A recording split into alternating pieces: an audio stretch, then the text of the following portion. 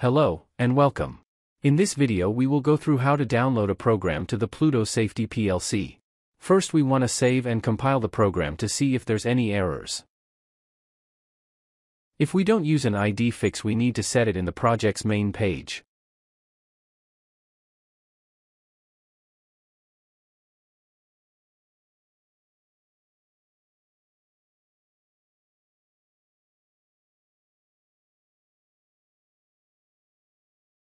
If the compiling turns green without any errors, then we are ready to download.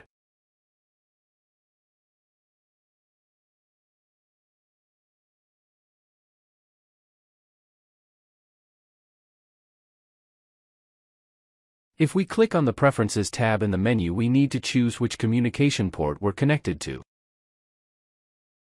I haven't connected my programming cable yet so I can't see any ports I can connect to. The programs need to be downloaded via a special ABB serial programming cable. To connect the cable to the Pluto PLC we connect the side with four pins to the PLC. The cable is marked to know which side is up and down on the cable. And on the other side it's a regular USB-A connection that we connect to the computer. If we now check the communication port again we will be able to find the COM port we're connected to.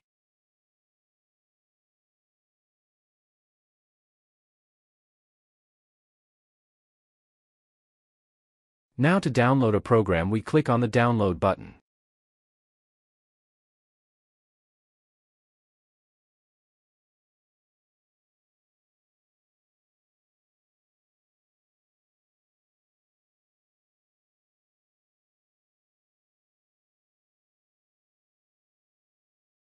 On the PLC we can see that the program is being downloaded. When we see a number on the PLC display we know the program is downloaded. The number on the display shows which ID number the PLC have. Sometimes when trying to download to the PLC a common error we get is wrong bus baud rate. In case this happen we can go to the Projects tab and change it.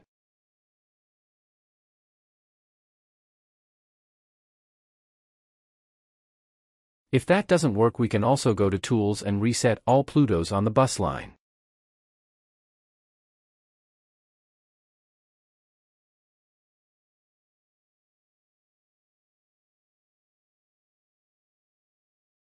I will now test out my program while monitoring the signals.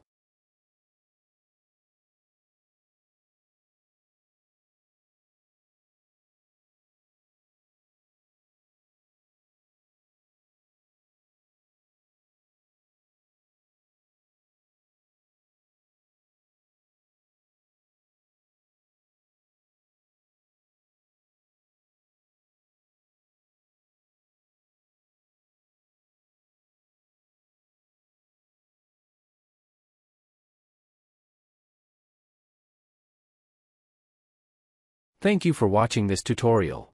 If you liked the video give it a thumbs up and subscribe.